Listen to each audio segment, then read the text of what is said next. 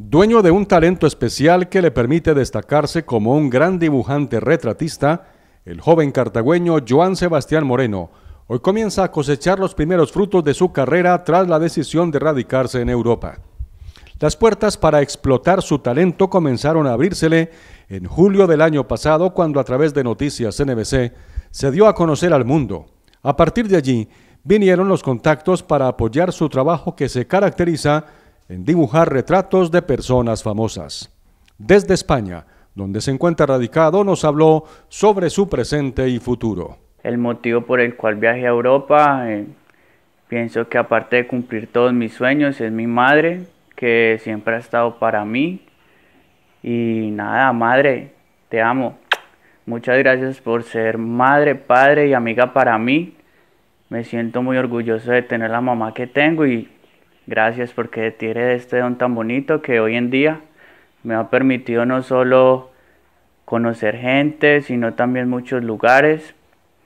Y pues les cuento un poco, en este momento estoy en un proyecto para conocer a algunos jugadores del Real Madrid.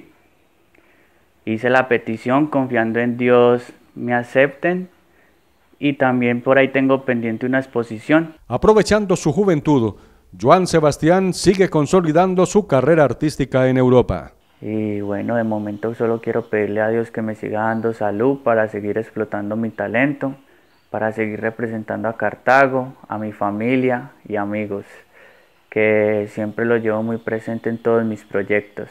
Un talento que heredó de su familia y al que se dedicó luego de su frustrada carrera como futbolista. Quiero resaltar de mi familia Moreno a un tío que es pintor de brocha gruesa, me parece que es un talento también muy bonito.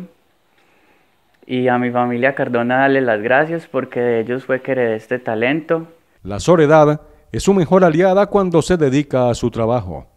Y me caracterizo por ser una persona muy noble, sencilla, humilde, más bien solo, de pocos amigos. Y bueno, si no está de más decir, soltero. Superados algunos inconvenientes, ha retomado su contacto a través de las diferentes redes sociales. El motivo de mi ausencia en las redes sociales fue por la pérdida de mi Facebook, que me lo robaron. Lastimosamente hay personas que se empeñan más en opacar a los que verdaderamente les gusta salir adelante, en vez de ponerse primero a cumplir sus sueños, siempre buscan la forma de opacar a la gente.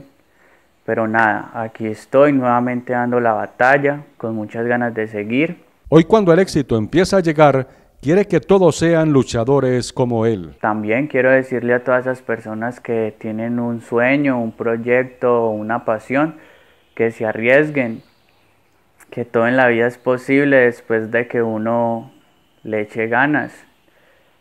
Eh, para tener éxito en la vida solo se necesitan cuatro cosas. Fe en Dios, confianza en uno mismo, dedicación y un compinche que lo acompaña a uno en todo, no se necesita nada más. Y recuerda particularmente a sus amigos de los barrios Los Pinos y San José donde vivió su niñez, a su familia y a quienes lo han apoyado para llegar a donde hoy se encuentra. Y para saludar también a mi profesora Luz Dari, eh, a mi amigo Duvier Barber Shop y a las mamacitas que me apoyan.